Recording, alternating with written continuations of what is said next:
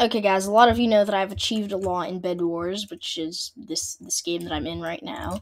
I've beaten one of the developers of the game. I've beaten countless tryhards, beaten some of the most skilled players in the game. One of my final goals is to get Chase, the head AC mod, to notice me, trying to get him to comment on a video. So that's why I've come up with this video idea. Nobody can comment on this video except for Chase. I know you can type and you can like bro what is this name anyways i know you can type and you can click enter. It'll be there except nobody will be able to see it except for you and it will delete when you reload the page except for chase. Try me